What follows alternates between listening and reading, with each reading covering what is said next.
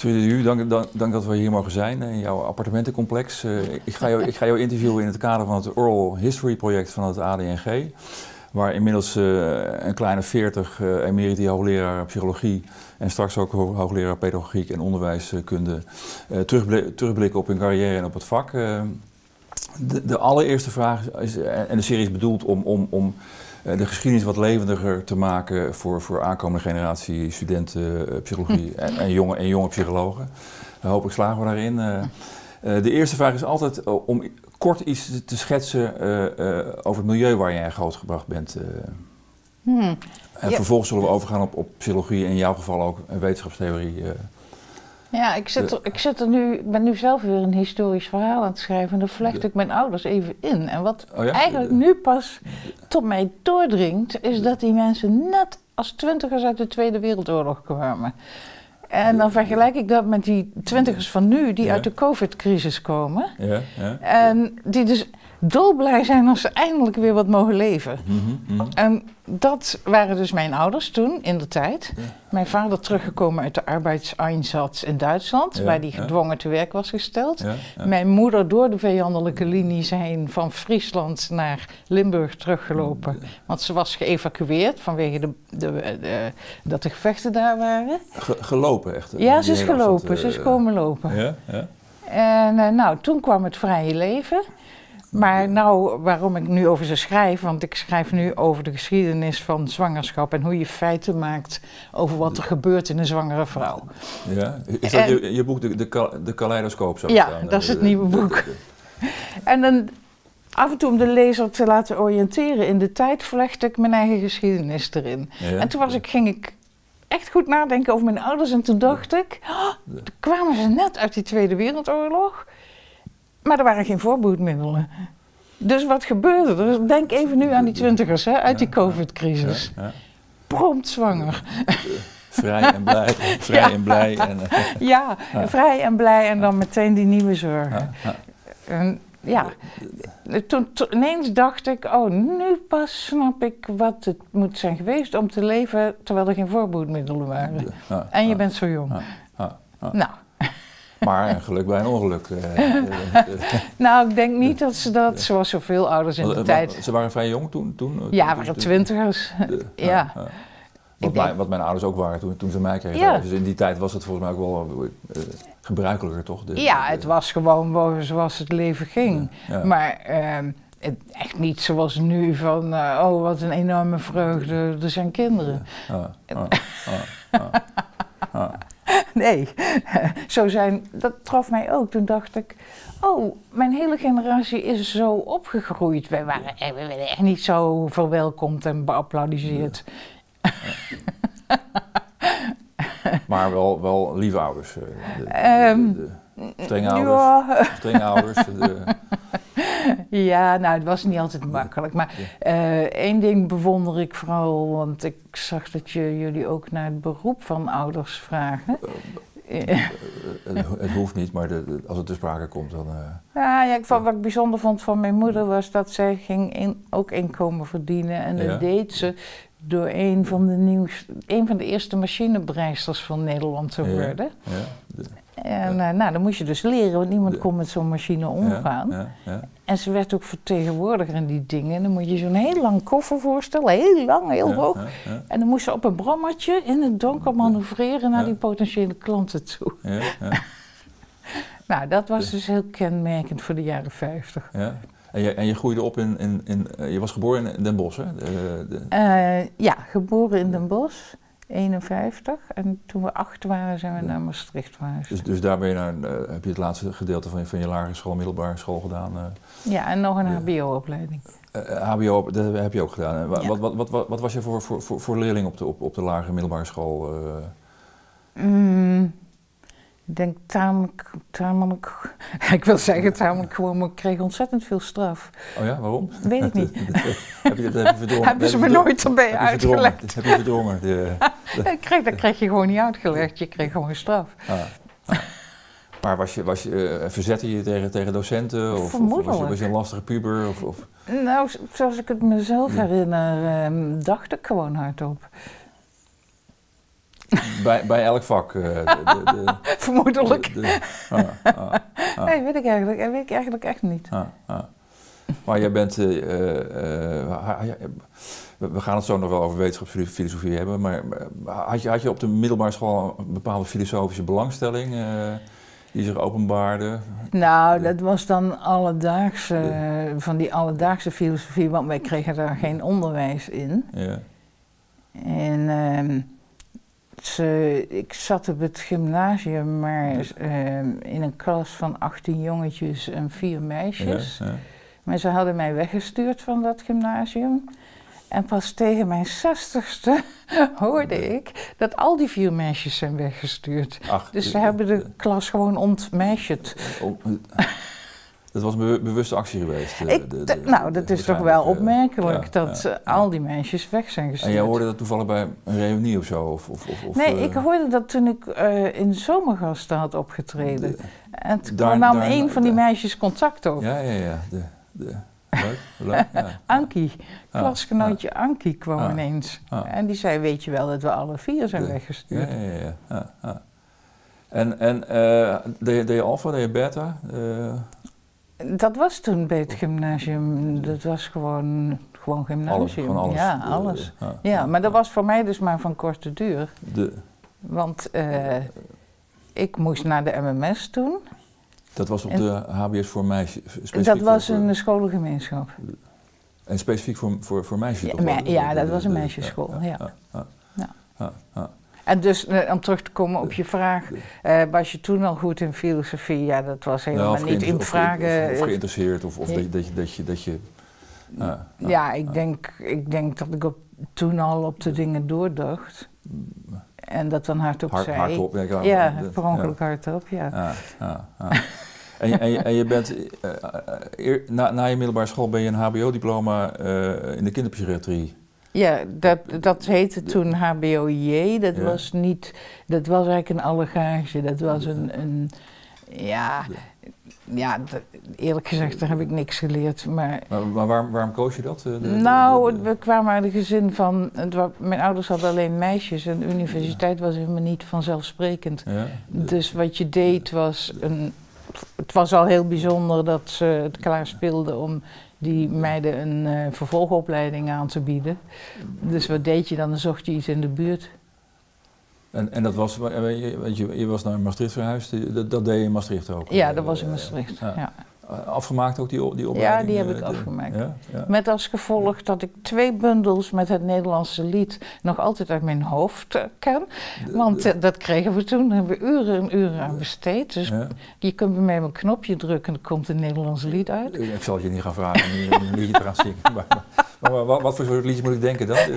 we kregen gewoon muzieklessen. Omdat, omdat je dat met, met, die, met die kinderen die, die, die je zou gaan begeleiden uh, veel mee moest gaan zingen of zo? Of, of, ja, en vermoedelijk vonden ze het ook algemene ontwikkeling en training van je muzikaliteit. Ja, ja. maar, maar, je bent niet echt heel erg enthousiast over die HBO-studie? Eh, nee. De, de, de, nee, joh. Ik heb daar zeven manieren om luiers te vouwen geleerd. En dan was uiteindelijk, kreeg je te horen dat één manier de beste was. Dan dacht ik, ja, wat moet dan zeven manieren? Ja, en, en vijf standen van de poten van de wieg. En dan kreeg je te horen als de poten zo stonden dat het niet goed was, want dan kon de moeder erover struikelen. Als de poten zo stonden, zou de wieg omvallen. Ja. Ah, ah. Dus daar kwam je al snel achter van dit is... De, maar je, je, hebt je hebt een tijdje toch wel gewerkt in de kinderpsychiatrie? Ja, eh, toen, toen was ik, kwam ik in Groningen terecht. Dat was mijn eerste serieuze baan. Ja, ja. ja. En, en, en uh, was je, op een gegeven moment maak jij de stap naar om psychologie te gaan studeren. Ja. Uh, uh, hoe, hoe, hoe, kwam dat? nou, ik was heel erg gefascineerd door die kinderen. En dat waren kinderen um, ja, met echt hele ernstige problemen. Daar moet je echt aan forse psychiatrie denken. Ja, het was een kliniek bij wat nu het UMCG heet, toen uh, Academisch Ziekenhuis Groningen. Ik geloof dat we er net langs gereden zijn. Ja. De, de, En dat was in een villa vooraan, hier in deze wijk, waar, waar is een, uh, een observatiekliniek. Ja, En daar waren de kinderen drie maanden, als het goed was, maar ze bleven vaak langer. Ja. En daar werkten ook zogeheten observatrices. En ik was een observatrice. Ja. En, uh, die kinderen waren boeiend. En uh, je, je kreeg dan als observatrice de taak om af en toe, uh, moest je naar haar huis, kreeg je drie dagen ja, soort vrij. En moest je schrijven over dat kind. Ja. En dat vond ik geweldig. Een heleboel zagen daar tegenop en ik vond dat fantastisch om dat op te bouwen, zo'n stuk. En, en, dat was een, een gevalsbeschrijving of zo? Die, ja, het was een casusbeschrijving, was aanleveren van materiaal voor de psychiaters. En ontdekte je toen ook van, van, van een, een, een, een, een liefde voor schrijven? Is, is die daar begonnen? De, nou, pas als ik er achteraf naar kijk. ja. Ik weet, ik weet dat ik dat heel fijn vond om te doen. Ja, ja. En ik vond het heel erg uh, bijzonder. Die kinderen waren zowel leuk als soms echt behoorlijk in de war. En dat wil ik beter gaan begrijpen. Ik wil dus beter gaan begrijpen. En van, vandaar de studie de, uh, psychologie. Uh, misschien met het idee om ontwikkelingspsychologie te gaan studeren? Uh, ja, dat was dat was de, het idee. Ja. En toen zou ik me daarvoor inschrijven. Toen studeerde ik dus al een tijdje. En toen hingen er van die lange lijsten in de gangen. Met, met de hand moest je je nog inschrijven op een prikbord. En toen zag ik al die vrouwennamen daar staan bij ontwikkelingspsychologie. Al die vrouwennamen? Ja. En toen ben ik gewoon verschoven. Ja, Dat, was, dat was, dat was de, de voornaamste reden gewoon. Uh, ja. Ik zie me daar nog staan, ja. Ik denk, ja, dan word ik het zoveelste meisje wat ontwikkelingspsychologie doet. Ja. En op dat, dat precies dat moment, als een soort toeval, heb ik me ingeschreven bij een andere vakgroep. En dat bij persoonlijkheidspsychologie. Echt puur toeval? Of, dacht je ook wel van, van nou ja, daar, kan ik ook, ook misschien meer te weten komen over de persoonlijkheid van, van kinderen of zo? Of, of, of uh... Het was tamelijk onnadenkend. Ah, de, ah. En dan kwam, kwam, kwam je toen bij, bij, bij, bij, Hofstee onder andere, ja. Eh, die ook in deze serie zit, Wim Hofstee. Ja, uh, ja. en bij Piet van Strien. Ja? Ja. De... ja, nou het zal niet helemaal toeval zijn geweest met die meisjes, want ik wist natuurlijk al wat uh, persoonlijkheidspsychologie was, want je had van die intro, introducerende vakken gehad. En ik vermoed dat ik toen ook gedacht heb, nou dat boeit me, dat vind ik interessant. En ehm, we hadden er al toen al vrij jong bij Piet van Strien en Wim Hofstee hadden we ook wetenschapstheorie. Ja? Dus daar, dat was het moment. Uh, heb, je, heb je daar nog heel specifieke herinneringen aan? Dat je, dat je dacht van nou, dit, dit, is, dit is echt een richting die ik, die, die ik op wil? Uh, ja, ik dacht nooit zo in termen van de richting. Ik, ik zwom altijd maar een beetje mee, geloof ik, of er tegenin. Maar in ieder geval was daar een cursus. Um, uh, Waarden en Wetenschap heette dat, gegeven door Van Strien en uh, Hofstee. Ja, Met een boek De Boer en Kubben. Waarvan ik de helft niet begreep, maar wat ik toch heel interessant vond. Ja, ja. En, en heb, uh, Hofstee en Van Strien, zijn, zijn, zie je dat als, ook als een soort leermeesters voor jou? Ja. Ja, absoluut. Ja, dat is, dat is heel helder. Dat, dat, toen begon de tijd te ontstaan dat ik dacht, oh, dit, dit, dit wil ik doen en dit wil ik begrijpen. En, uh, ja. Wat, heb je specifieke herinneringen, uh, juist aan Hofstee en Van Strien? Uh, ja, heel helder, in, in, in, in jouw vorming tot, de, tot de psycholoog, wetenschapshistoricus, die, theoreticus die, die, die je geworden bent? ja. Ik weet dat ik van Van Strien leerde over Max Weber en verschillende soorten rationaliteit. Ja, en dat vond ik wat van, oh ja, er is niet één soort rationaliteit. Dat is eigenlijk ik nu nog, nog altijd toe. En van Hofstee, die had dat wetenschapsmodel uh, ontworpen. Dat, dat, dat, je, dat, je, dat je wet op, op een onderzoeksuitkomst. De, eh, de ja, dat, dus dat was een erkenning van verschillende perspectieven. Maar hoe moest je die nou bij elkaar brengen? Nou, maak het maar concreet. Doe dan alle twee een voorspelling over een onderzoeksuitkomst. En leg je daar dan ook wat op vast. En als dat dan, de, als dan en, en, het onderzoek een bepaalde uitkomst geeft, dan ga je ook niet lopen jamaren, ja, niet Met, terugkijkend. Nou, ja, ik herinner me dat vooral als, als, als, als, best wel een speelsmodel. Gehad. Ja. ik zelf, zelf, ik wed graag met, met vrienden, met sportwedstrijden of zo. Weet je, de, de, de, Ja, het was heel speels. En wat ook wat erg leuk was, dat zal ik mijn leven niet vergeten, dat ik bij Wim Hofstee mocht ik, uh, ja, was een vrij vrij jong. Ik mocht gewoon zijn werkkamer inlopen als het in mijn hoofd opkwam. Als ik wat bedacht had. toen rookte hij volgens mij nog die. Uh, oh ja, die, eindeloos. Die, die, die, camel, geloof ik. Uh, ja, ja, ja. Zijn hele mok was bruin van binnen, weet ik. Oh, nou, het moet natuurlijk van de thee zijn geweest, maar. Die was er nu nooit af. maar wat hij dan deed, als ik binnenliep, dan kwam hij achter zijn bureau vandaan. En dan gingen we in het lage zitje zitten. Dat, we waren er toen nog in de werkkamers. En dan uh, mocht ik vertellen wat ik bedacht had. En dan ging hij met me pingpongen verbaal. En, en, dat was echt, dat was zo enorm bijzonder. Want dat was ik als meisje helemaal nooit gewend geweest. Ik denk vooral als meisje, want uh, je, je werd niet zo als een denkend iemand gezien, hè? Je werd gezien als iemand die zeven manieren om een luier te vouwen moest leren. Ja, heb je dat echt zo, zo, zo sterk? Uh, toen op dat moment heb ik, dat, dat was voor mij heel bijzonder, dat er een grote volwassen man, een professor.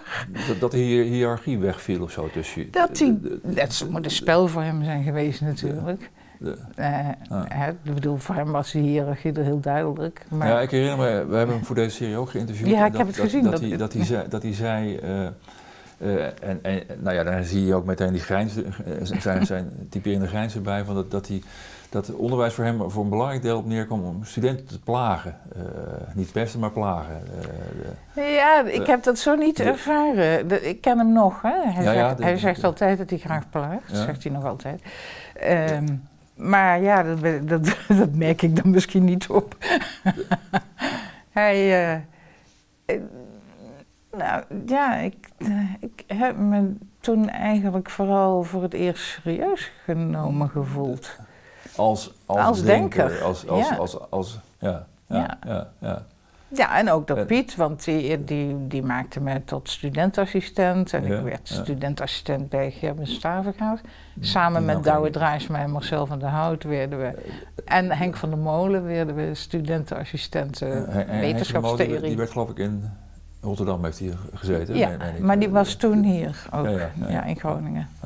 En, en, en, en je bent toen al, je bent naast psychologie-studie ben je ook uh, wetenschapstheorie gaan studeren. Ja. Uh, dat, dat is, een, uh, neem ik aan, gewoon een heel, heel bewuste keuze geweest ook. Die, die, ja, dat was doorvragen, meer willen snappen. Ja, ja. ja.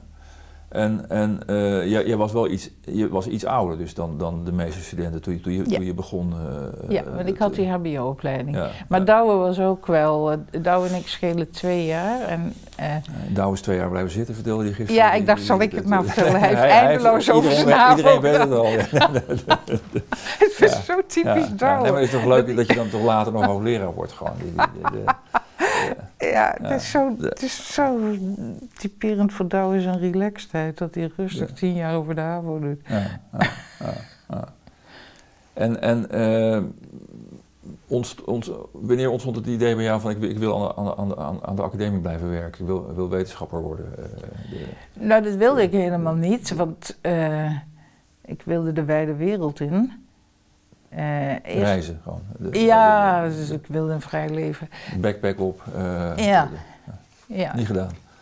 Heb je niet nee. gedaan? Nee, nee Piet van Strien bood mij een, uh, een promotieproject aan. Ja. En ik zat toen financieel heel erg krap. Ja. Ik had helemaal geen geld. Ja. En dus ja, sorry Piet, maar de, in eerste instantie heb ik dat toen voor het geld gedaan. Ik vond het op dat moment ja, het was historisch en ik was zo onnozel om te denken dat geschiedschrijving gewoon wat feit op een rijtje zetten was. Dat, dat, begreep ik toen nog helemaal niet. Hoe leuk dat was en hoe moeilijk. Ik heb, dat, uh, uh, ik heb de handelseditie ooit gelezen en, en, vaak uitgeciteerd trouwens, regels, regels van het vak. Ja, nee, met, met Uh, onder andere ook met die biografie van Piet Vroon die ik geschreven heb. Ja. de, de, het gaat onder andere ook over de fenomenologie. Uh, oh ja. grafologie meen ik me ook nog te herinneren. de, ja. ja. ik moest nog aan je denken, want ik luisterde die podcast over de Deventer moordzaak. Oh ja, die wilde ik nog de luisteren. De Mediazaak heet de, heet de podcast. Die wil ik nog horen. En, en uh, ik was verbaasd over, over de, de kritiekloze houding uh, over de grafologie. Van een briefje die daar... Oh. dan moest ik weer even aan jouw proefschrift denken. Ja. Ook de... Ja. Dat, ja, ja. ja, dat werd heel erg leuk, dat proefschrift maken. dat was echt, dat, ja. Dus je, je, begon uit een soort noodzaak, maar dat, dat, naarmate je vorderde, kwam je erachter hoe, hoe, hoe leuk je dat vond? Ja, de, de, ja. ja dat heb ik toen gaandeweg moeten ontdekken. Maar ja, ik, ja nou, even een interruptie. Ik, ik, moest, ja, ik wilde de wijde wereld in en dacht ook echt, als het proefschrift af is, koop ik een Volkswagen busje. Ja, voorkomen, voorkomen idioot, want ik kan nooit ergens de weg vinden. Ook nog niet in de werk in TomToms. Had, je, had je hippie-ambities of zo dan? Of, of, ik heb wel een tijd, eh, ja, dat stukje jeugd hebben we overgeslagen, maar ik woonde in de eerste commune van Maastricht. Oh, is dat? Met een hippie-jurk aan en een ziekenfondsbrilletje. Toen, toen jij die HBO-opleiding deed? Uh, ja. Ah, ah. ja. En nu woon je ook weer in een soort ja, commune. kan het toch zo? De, de, de, ja. ja. ja. Je, je, je, had dus heel erg veel plezier in het schrijven van je, van je proefschrift. Dacht je toen wel van, van dit, nu wil ik echt aan de academie, aan de universiteit blijven, blijven werken? Uh, kreeg je toen ambitie om ook hoogleraar te worden of zo? Of, nee. ik, nee. die dingen gebeuren gewoon. is, dat, is, dat, echt zo? nou, um, het kwam toevallig dat er een... Uh, ja, nu zijn we weer een aantal jaren later, want ik moest natuurlijk eerst UD en UHD worden. Ja, ja. Uh, proefschrift was af, ik had er lol in gekregen. Ja. Um, ik vond het interessant in dat werk te doen. Leerde mijn huidige man kennen, ja, die in Amsterdam bij wetenschapsdynamica werkte. en daar kwam een postdoc-plek vrij. En toen heb ik daarop gesolliciteerd. En toen waren ze hier in Groningen zo aardig om mij uit te lenen. Want ik had eigenlijk al een UD-plek hier. Maar ik mocht ter nadere ontwikkeling van mijzelf, uh, mocht ik daar tijdelijk aan de UvA gaan werken. En daar leerde ik dus de wetenschapssociologie kennen. Ja, ja. Ja, de wetenschapsfilosofie, zo formuleer ik het altijd maar, stelt de vraag hoe hoort dat goede wetenschap bedrijven? en wetenschapssociologie stelt de vraag wat doen die wetenschappers eigenlijk? En dus dan ga je eh, empirischer, terwijl je toch ook de reflectie en uh, de filosofie er nog inhoudt. Word je, werd je dan eigenlijk als het ware weer meer die observatrice of zo? Eh, zo, zo, zo zoals, je, zoals jij als, eh, begon na je, na je, na, na je HBO-opleiding? Eh? Het is een goede vraag, want wetenschapsonderzoekers, wetenschapssociologen gaan vaak kijken in een lab en observeren. Maar zo is het voor mij niet gegaan. ik ben altijd een graver in de manuscripten gebleven. Nee, oh nee, wacht even. Voor het proefschrift heb ik heel veel interviews gedaan. Ja. Ben ik heel veel op pad geweest om met mensen te, te spreken. Ja. Maar echt het lab, het empirische labonderzoek heb ik nou, zelden. Ik ben een keer in een lab geweest waar ze antidepressiva maken of testen. Ja, ja. Maar die observatrice, dat, dat, dat ben je toch eigenlijk wel... Tenminste, als ik jou weer... De, de pres Jij vindt mij een observatrice heel nou, goed. Nou nee, de, de, de, de dat, dat vroeg ik me af toen ik, het, toen ik het voorbereidde, of, of je dat inderdaad niet altijd gebleven bent eigenlijk. Nou, misschien wel, ja. Die combinatie van je heel goed kijken, want ik, ik hield echt van die kinderen. Ik vond ze ja, was heel betrokken bij ze. Dat, en interessant, ja, boeiend ook hoor. Ik had een Surinaams jongetje dat alsmaar kaimannen in de bosjes zag. Ach, en echt, hij zag ze echt. Hij beleefde ze. Uh, nou, dat is maar één voorbeeld. Of een jongetje wat alsmaar rondliep met een sleutel in zijn hand en dan riep: Mijn sleutel past niet. Mijn sleutel past niet. Nou, dat is een prachtige symboliek, want het jongetje past inderdaad niet. Ja, ja, ja. ja. ja. En dan daar, daar inderdaad ook over reflecteren, maar dat was niet mijn rol, want ik, ik was de observatrice die niet, de psychiater reflecteerde, die interpreteerde. Ja ja, dus wou ik hogerop. Ja, ja, ja. Maar nou, zijn we weer een, stuk terug in de tijd, hè? je zei van net van, van het, het, het, is maar gewoon overkomen dat ik hoogleraar werd. Uh, ja, uh, nou ja, niet helemaal. Nee, maar de, je, de, even kijken, ik had het gelezen in een interview met, dat je zei, je, je werd hoogleraar theorie, theorie en geschiedenis van de psychologie. Grondslagen en geschiedenis heette het officieel. Oké, nee, ik, ik, ik, ik heb gelezen theorie. En, uh, ja, ik heb het veranderd. Maar dat, dat het de lading niet helemaal dekte, uh, had je daar in een interview over gezegd. Uh, ja, kijk, ik was inmiddels wetenschapssocioloog geworden. Hè? Door, die, door dat postdocschap daar in Amsterdam. Ja, je, je, noemde jezelf ook geen psycholoog meer, zeg maar. Nee, de, de, dat zou niet zo recht zijn. Ik ben geen psycholoog. Ja, niet nee. eens psycholoog, altijd psycholoog als je die studie gemaakt hebt. ja, wat ben je eigenlijk? Ik weet het nooit. Uh, als journalisten het me vroegen, dan bedacht ik ter plekke wat voor dit interview dienstig was. Um, wat is het voor dit, wat is voor dit interview dan dienstig? Ja, ik denk dat iedereen eigenlijk zo in de loop van zijn leven een soort rommeltje van van alles en nog wat wordt. Ja. In ieder geval, er kwam toen, het is zo gegaan, er kwam een, een vacature, omdat Piet van Strien met ja. emeritaat ging. En ik moest beslissen wat ik daarmee zou doen. Ja. En toen heb ik een hele vakantie in Frankrijk lang zitten dubben, wat doe ik? Uh, of je Piet misschien zou, zou opvolgen? Ja, of ik zou solliciteren überhaupt. Uh, het was een bizar idee dat ik hoogleraar zou worden. Waar, waarom, waarom nou, bizar? Er waren ook nauwelijks vrouwelijke hoogleraren. Ik had geen, helemaal geen rolmodel en ik had nooit zo over mezelf nagedacht. Ik had mezelf zo nooit gezien. Uh, ik, ik weet nog ook dat ik dat ik naar een etentje van vrouwelijke hoogleraren ging. om te kijken wat die voor kleren droegen eigenlijk. Wat waren dat voor soort mensen? Maar dan zie je ook weer dat je een vrouwelijk rolmodel nodig hebt. Want ik kon niet naar die mannen kijken. Ja, die hadden pakken aan. De, ja. En toen zei ik tegen iemand, ik ga naar dat etentje, want ik moet weten wat vrouwelijke hoogleraren voor kleren aan hadden. Observe weer observeren natuurlijk. En toen zei die iemand tegen mij, ja, die hebben natuurlijk de kleren aan die jij aan hebt als jij erin bent. De, ja. ja, dat is natuurlijk ook logisch.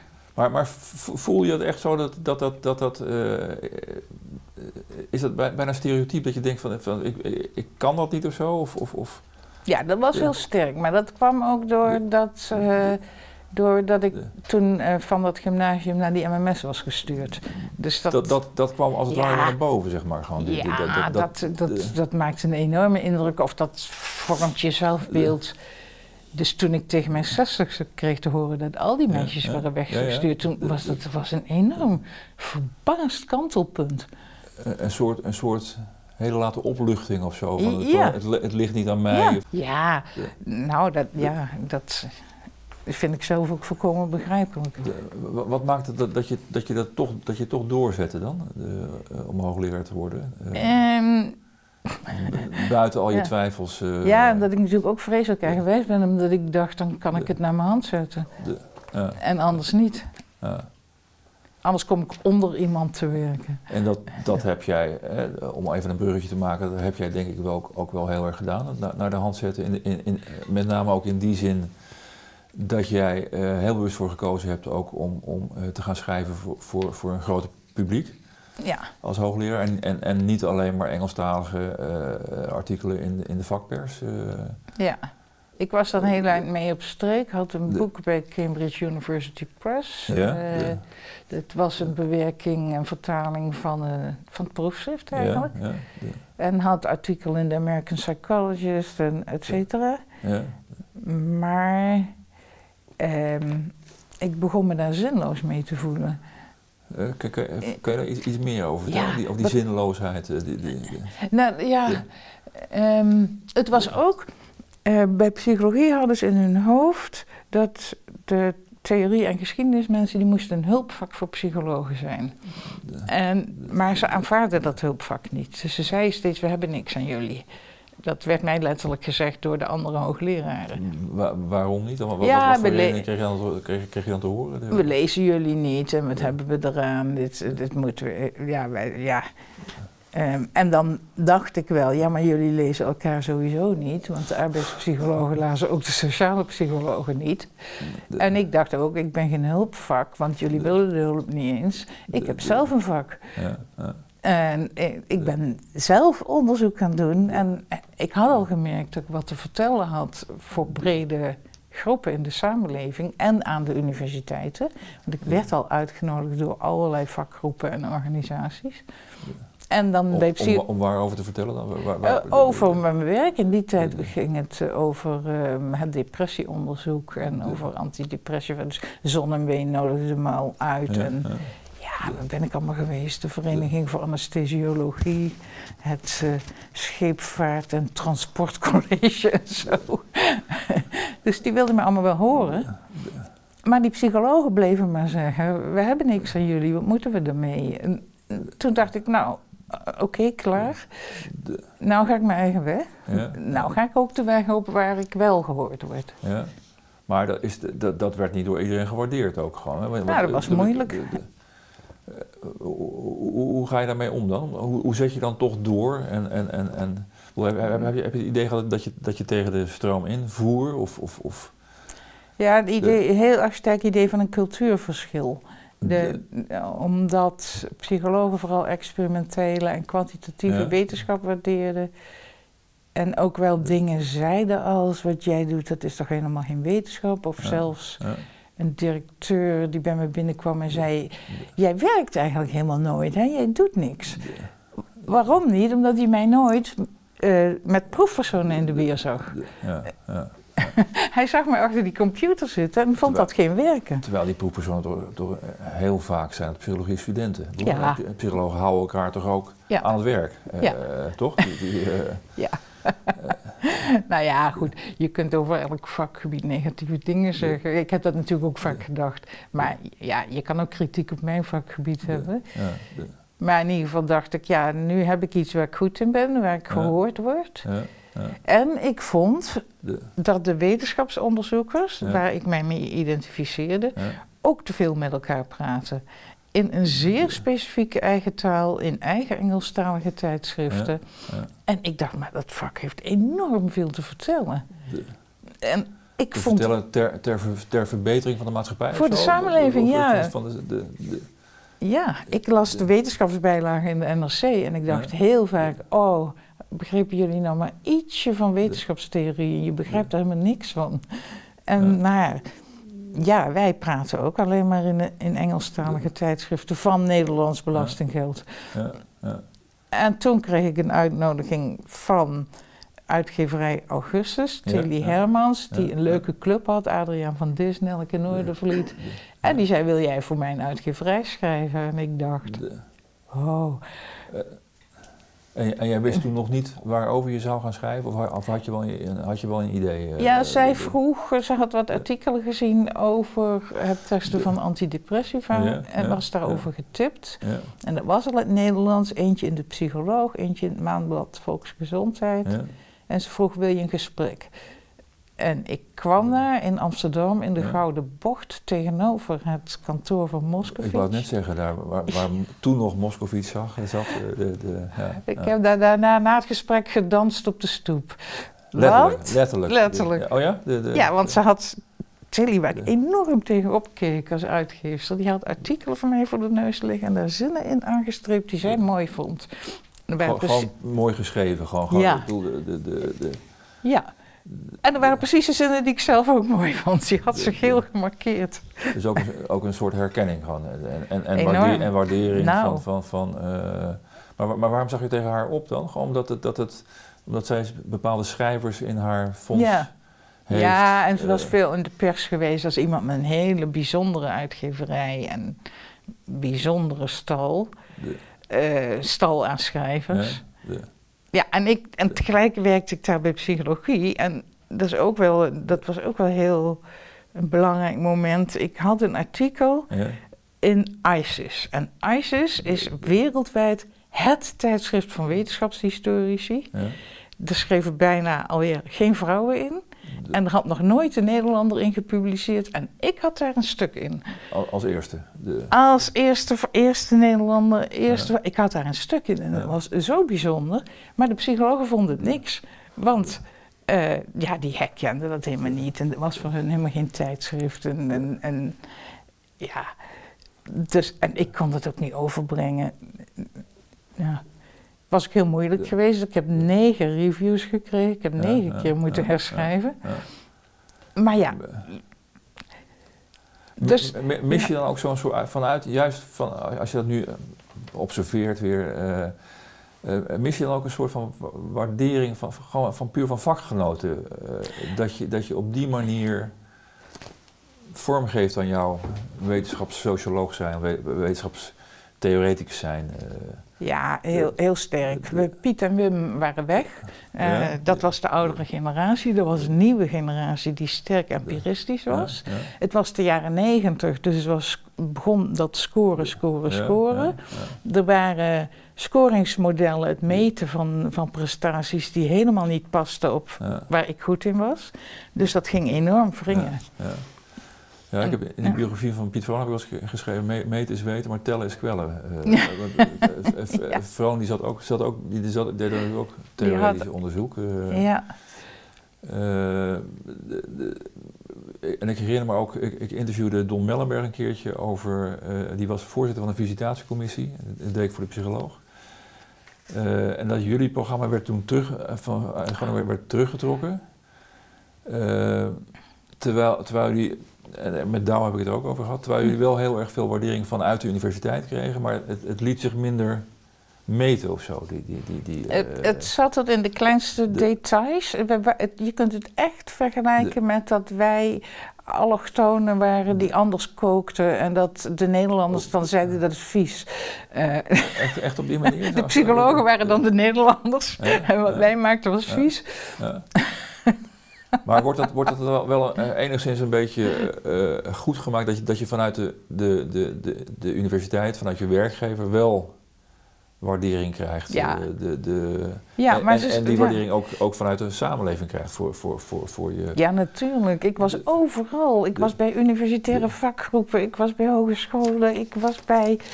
zie, zie, je dat dan ook als een soort van revanche of zo? Van, van, zie je nou wel van, van het wordt wel gewaardeerd? Of, of ja, iedereen wil gewaardeerd worden. En wat ik moeilijk vond was dat ik bij psychologie op de loonlijst stond en maar daar dan te horen kreeg, elke keer weer. Ja, oh, er waren ook uitzonderingen. Maar even als voorbeeld van hoe het in kleine details kan zitten. Dat, We hadden allemaal statistische programma's op onze computers. En toen zei ik in de hooglerarenvergadering, dan kunnen we ook woordenboeken krijgen. Want ja, ik moest filosofisch schrijven. Je moet de fijnzinnigste termen. En toen kreeg ik als antwoord, kun jij dan geen Engels?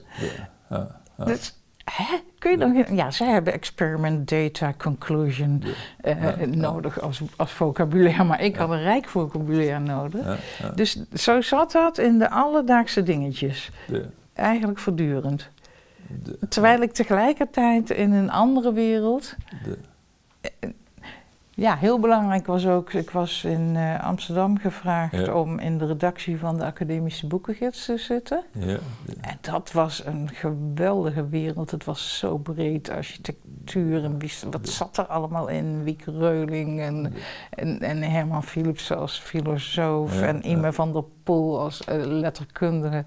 Nou, daar was ik als een vis in het water. Ik vond het geweldig wel, wel eens overwogen om weg te gaan bij de universiteit en, en fulltime schrijver te gaan worden? Ik bedoel, de, ja, um, in die tijd, uh, ons gezin was maar klein, alleen mijn man en ik, maar ik verdiende het inkomen. Ja, de... uh, en, kijk, dat hoogleraarschap bracht me ook heel veel. Hè.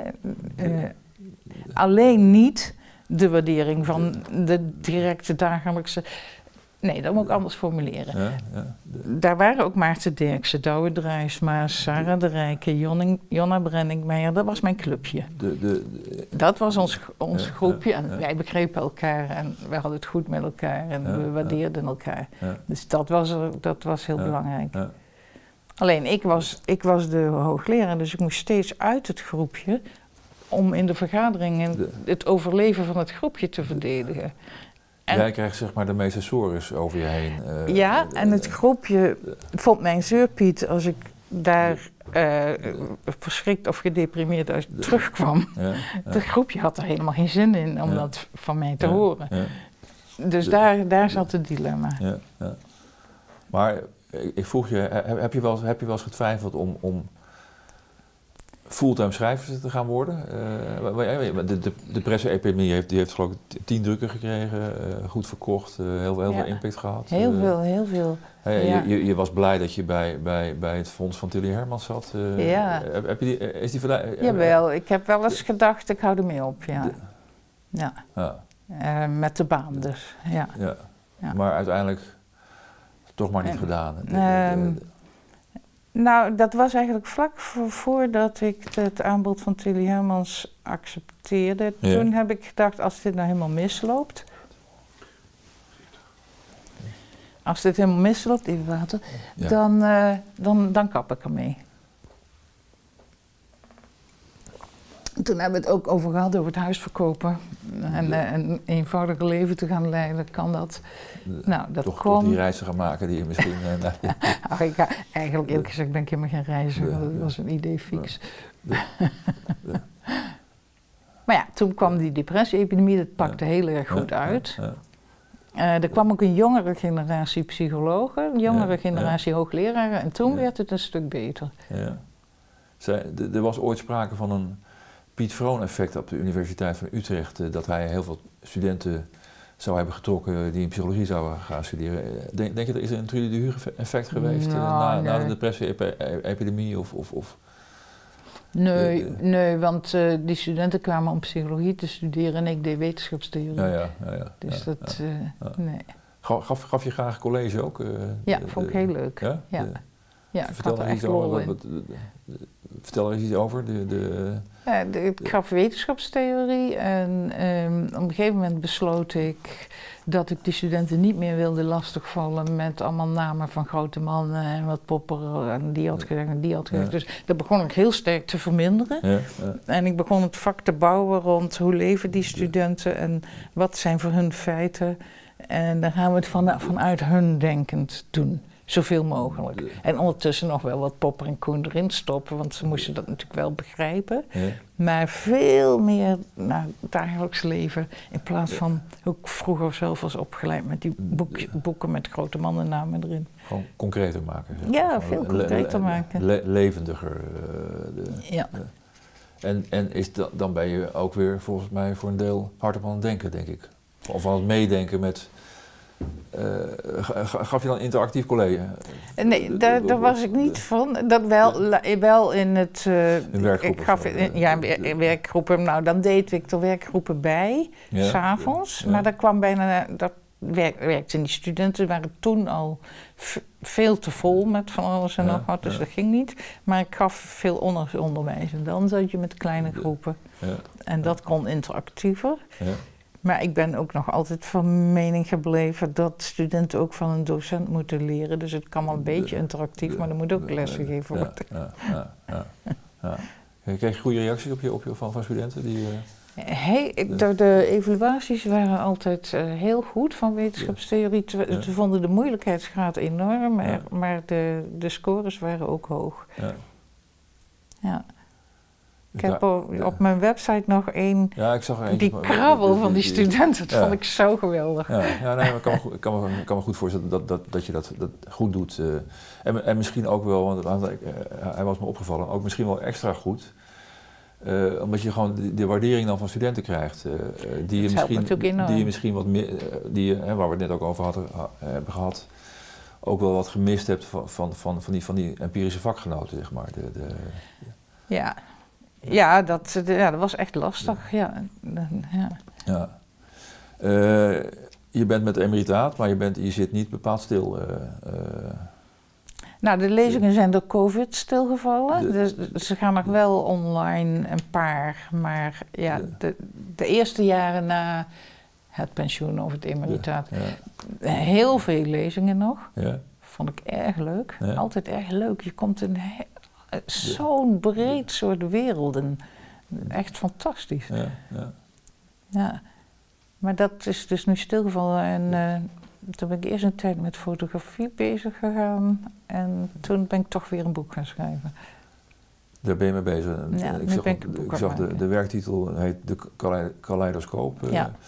Uh, nou ja, ik interview jou nou in die coronatijd en uh, ik had het je al gezegd, gisteren zaten we op het terras tegenover de bed and breakfast waar wij logeerden, een biertje besteld en een portie bitterballen ook. En toen zei ik tegen de filmmaker van, van Zo is het. morgen ga ik het ook met Trudy de Huur over bitterballen hebben. Hè, want, ik, want ik las van, de, ik las, jij, op je, op je website in, in, in de aankondiging van het boek uh, wetenschappelijke feiten die vergelijk je met bitterballen. Uh, ja, omdat bitterballen, dat zijn mooie afgeronde dingen met een gouden korst eromheen. Maar het gaat om, hoe is dat ding samengesteld?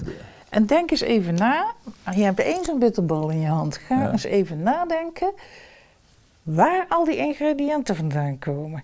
Weiden met koeien en boeren en transport en um, meelfabrikage en fabrieken en verpakkingsindustrie. Nou, we vergeten vaak dat wetenschappelijke feiten ook een eindproduct, dat netjes afgerond gepresenteerde eindproduct, ja. dat heeft een enorme voorgeschiedenis. En je hebt bitterballen waar rotzooi in zit. En je hebt bitterballen die uh, met hele goede en duurzame producten die, gemaakt zijn. Die van gisteren waren prima trouwens. Die waren goed. Kijk, en zo kun je feiten... Uh, daar ga je ook andere dingen in wetenschappers waarderen. Uh, ik waardeer bijvoorbeeld Marion Koopmans heel erg als viroloog. De, de, de viroloog. Zij legt ongelooflijk goed uit. Doen er meer hoor. Ehm, Olaf Dekker ook bij Nieuwsuur zij leggen heel goed uit uit welke ingrediënten de feiten bestaan. Daarmee doen ze twee dingen. Eén, ze laten zien dat feiten uit ingrediënten bestaan.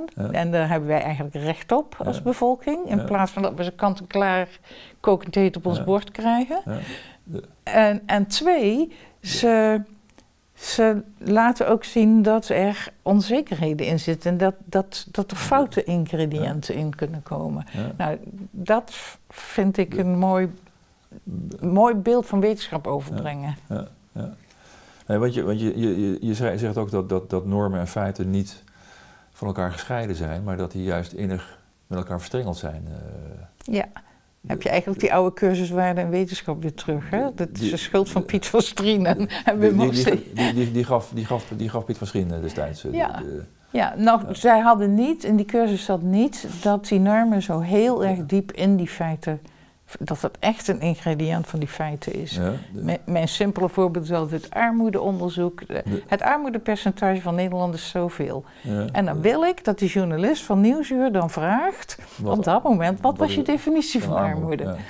En hoe heb je die vragenlijsten afgenomen? Hoe heb je gemeten? Want dat bepaalt je cijfers. Niet alleen het meten bepaalt de cijfers, maar de filosofie achter het meten. En, je, en, je, interpretatie ook natuurlijk. Ja, en de interpretatie achteraf. Ja, Maar die kenden we altijd wel al. Maar veel minder mensen zijn zich van bewust. Ook wetenschappers zijn zich daar veel te weinig van bewust. Dat je ja, daar voorafgaand zoveel normatieve beslissingen.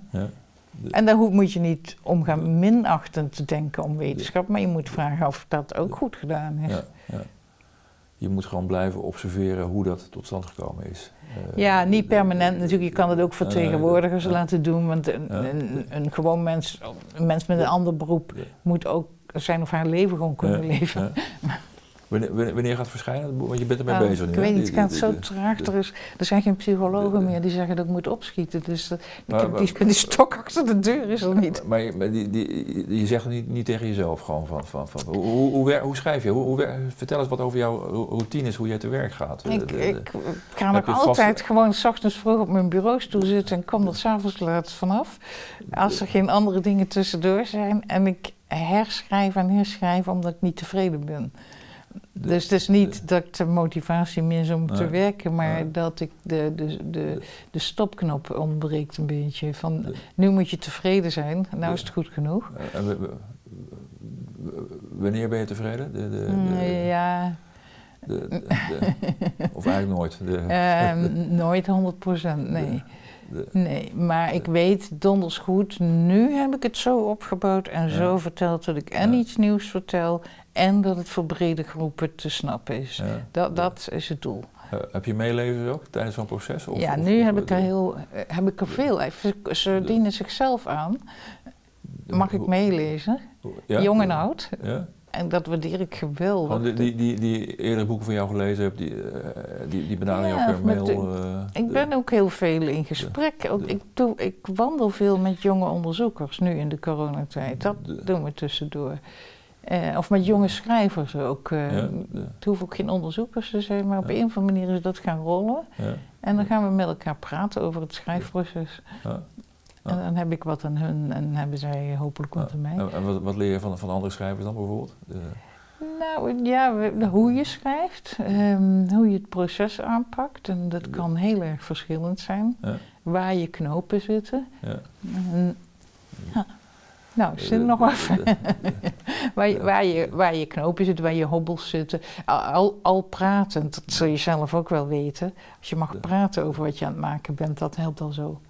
Uh, ja, en, en, en hard, hard op je eigen teksten voorlezen bijvoorbeeld, dat helpt. Ja, dat helpt Vaak ook, waar, waar, waar zinnen niet lekker lopen. Ja, zit de cadans er wel in. ja, ja, want het moet wel een bepaald ritme hebben. Die, die, ja. heb je bepaalde schrijvers die je graag leest ter inspiratie voor je, voor, voor, voor je eigen schrijverschap? Als het heel mooi en heel helder is. Nou, Max Februari lees ik, lees ik heel graag. Vond ik prachtig. Hij had een keer een column over. Daar had een journalist een woordje in een zin van Max Februari verplaatst. En dat kon echt niet. ik vond dat zo herkenbaar. Want ik zit zelf mijn woordjes altijd als te verplaatsen in mijn eigen zin. En als iemand dat anders dan op een andere plek zet, dan is het niet te verdragen. ja, ja, en, en ik zag op je website, je, je bent ook bezig met, met, met uh, je, via foto's creëer je eigen, oh, dat heb je gezien, eigen ja. werkelijkheden. Uh, ja. Uh, nou, ik zag ook in, je, in, in de WhatsApp, zag ik ook een, en volgens mij is dat ook een, een foto oh, van een... Oh ja, dus die zit er ook, ja. Nou, dat, die WhatsApp is meer een natuurfoto, maar... Nou, afval zag ik een, een insect erin, want er moeten altijd insecten terugkomen, uh, las ik. Ja, die, die, die handhaven zich maar zo dapper op de wereld. Maar ik plaats ze um, in een eigen... Dus ik bouw een hele scène. Ja, de, de, met uh, dingen die ik op straat vind. Mijn man schaamt zich dood, want ik krap alles op. en dan bouw ik op twee vierkante centimeter een scène en dan maak ik een foto met een macro lens. De, ja, dat doe ik, de, weet ik ook niet waarom. De, ja, dat, de, de, maar, maar, maar de, dat een behoefte aan esthetiek? Of, of ja, het is esthetiek, maar um, ja, het is grotendeels esthetiek. Behoefte aan een kunstenaarschap? Of, uh, ja, misschien ja. Waarom maakt de kunstenaar kunst? Het, het, is ook wel heel fascinerend, hè, want uh, er zit een klein zwart stipje, ik noem een stipje op je witte t-shirt. En je, Ik plukte het eraf en mijn ogen zijn ook niet 100%, maar ik zag niet eens dat het een beestje was. En dan haal je hem voor die macrolens en dan kijkt hij je aan. De. De. dan is het een persoon. Ja. Ja. Ja, ik, viel, ik viel vooral over, of, wat me vooral fascineert van het creëren van je eigen werkelijkheid. Ja, ik zeg, jij zegt het zo, maar ja.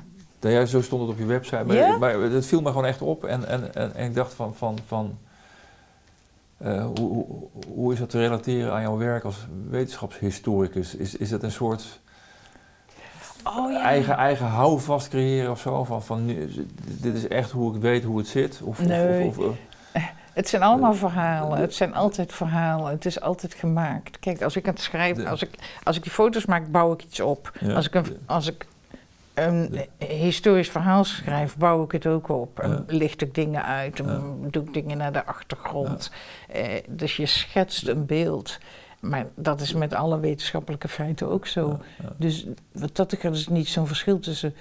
Kijk, je hebt nu een cameraman bij. Je had ook iemand met een iPhone neer kunnen zetten. Wat doet de cameraman? Die maakt er iets van. Ja. Dat hoop ik tenminste. Ja. Dat hij dat gaat doen. Daar is hij voor opgeleid. ja. en, en de apparatuur doet ook heel veel. Hè? Het is heel erg vergelijkbaar met wetenschap. Daar zit, die apparatuur die is ook ontworpen. De, de, dus een foto is deels ook het product van de camera. Ja. ja. Als, je, als je nou je eigen leven, we gaan een beetje naar de afronding van het gesprek. als je jouw eigen carrière een beetje observeert, uh, zo, wat, wat, wat, voel je dan meer psycholoog, filosoof, schrijver? De, of of is misschien die, die, die, die observatrice eigenlijk wel een goede typering? Ja, die wil ik je wel gunnen, maar zelf denk ik... ik denk ja, ja, jawel, inderdaad. Ik ben wel heel, heel uh, observerend en verbaal. Uh, dus ik ben niet stil observerend, komt er ook wel uit. Uh, maar ja, vooral een allegaatje. Maar ik denk dat alle mensen allegaatjes zijn eigenlijk. Alle mensen zijn allegaatjes. Ja. ja. Dat lijkt me een heel mooi einde. een hele mooie psychologische opmerking om het interview mee te eindigen. Dankjewel voor het gesprek. ook bedankt.